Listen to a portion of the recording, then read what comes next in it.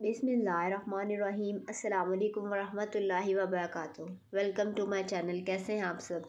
I hope के सब ठीक होंगे। अल्लाह ताला सबको खुश और आबाद रखे। आमीन। आज मैं बना रही हूँ rice flour marble tea cake. आप चाहें तो यही केक मैदे का भी बना सकते हैं, सेम यही मेयरमेंट के साथ। उसका भी सेम यही रिज़ल्ट आएगा जो इस केक का आया था। मेरे बच्चे सीलिक पेशेंट्स हैं तो मैं ज़्यादातर मोस्टली राइस फ्लोर आटे का ही केक बनाती हूँ। इसके लिए मैंने तीन एग लिए थे। एक कप चीनी ली थी। हाफ़ कप के करीब ऑयल लिया था।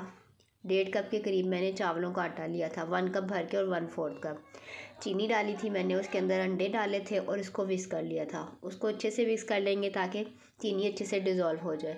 उसके बाद इसमें साथ ही मैंने हाफ़ कप के करीब ऑयल डाल दिया था और इसको दोबारा अच्छे से बीट कर लिया था। इसको अच्छे से बीट करना है ताकि जो चीनी है वो मिक्स हो जाए। उसके बाद फिर मैंने इसमें चावलों का आटा डाल दिया था छान के। उसके बाद मैंने फिर इसको मिक्स कर लिया था। फ्यू ड्रॉप्स ऑफ़ मैंने वनीला एसेंस के ऐड कर दिए थे। उसके बाद वन टेबल स्पून मैंने इसके अंदर बेकिंग पाउडर ऐड किया था और इसको फिर मैंने अच्छे से मिक्स कर लिया था। इसको अच्छे से मिक्स करने के बाद बैटर को मैंने दो पोर्शन में डिवाइड कर दिया था। एक में मैंने फोर से फाइव स्पून के करीब कोको पाउडर ऐड करके इसको अच्छे से मिक्स कर लिया था।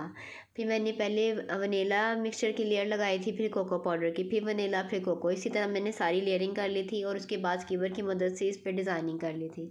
फिर मैंने देरशे को पहले से ही प्रीट होने हीट होने के लिए रख दिया था। इसको मैंने forty two forty five minute के लिए बेक कर लिया था। फोर्टी फाइव मिनट के बाद हमारा केक बेक होकर तैयार था। गरम गरम मैंने इसको सर्व किया था। बहुत ही यमी बना था। आप भी ज़रूर ट्राई कीजिएगा और मुझे अपना फ़ीडबैक लाजमी दीजिएगा। मेरे चैनल को लाइक और सब्सक्राइब ज़रूर कीजिएगा ताकि मैं आपके साथ नई से नई रेसिपी शेयर कर सकूँ। जजाकल्ला